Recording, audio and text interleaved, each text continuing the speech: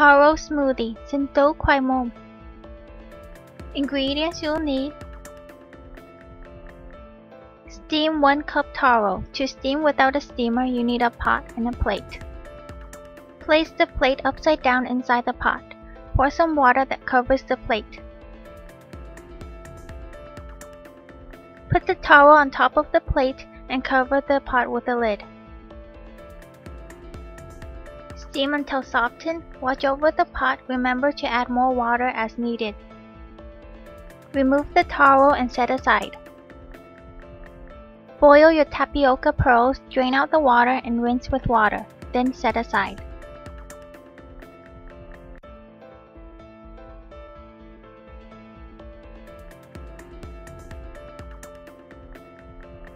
In a saucepan, add in 2 3rd cup coconut milk.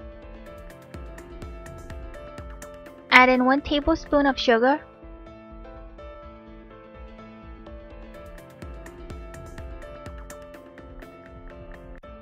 Once it starts to boil, remove from heat and let it cool. In a blender, add in 1 cup taro.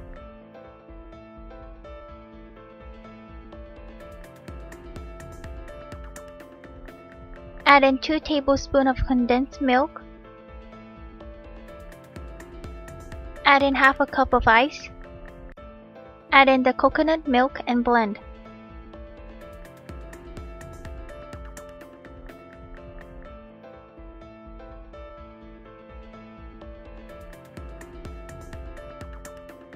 In a glass, add in the tapioca pearls.